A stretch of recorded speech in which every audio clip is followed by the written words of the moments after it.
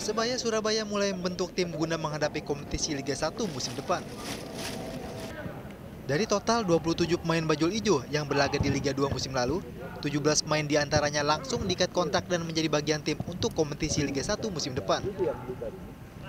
Ke-17 pemain yang telah dikontrak oleh manajemen bajul ijo di antaranya bek asal Papua Fandri Imbiri, gelandang Randy Irwan, striker Resadi Fauzi, kapten timnas U19 Rahmat Irianto, dan pemain terbaik Liga 2 Irfan Jaya.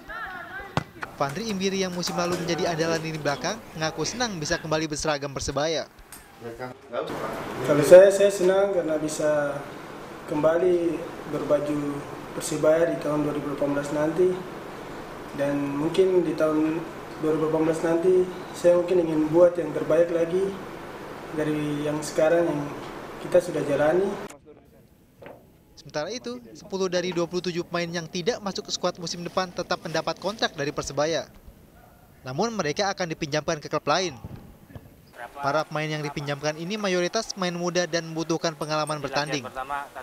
Meski dipinjamkan ke klub lain, manajemen Persebaya akan menggaji dan bayar kontrak mereka. Ini juga yang kemarin sempat rame.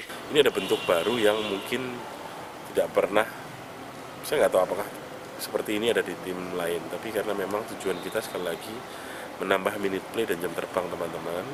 Jadi tujuannya adalah nanti kita pinjamkan, tapi yang membayar gajinya kita. Dan kontraknya masih di Persibaya. Tapi semua itu kita kembalikan ke teman-teman pemain. Apakah mereka setuju dengan program ini? Karena ya nggak semua mengerti maksud baik kita ini. Untuk saat ini seluruh pemain dan ofisial Persebaya Surabaya tengah diliburkan. Pemain akan berkumpul kembali dan menggelar latihan perdana pada tanggal 4 Januari mendatang. Mahendra Triginanjar, Kompas TV, Surabaya, Jawa Timur.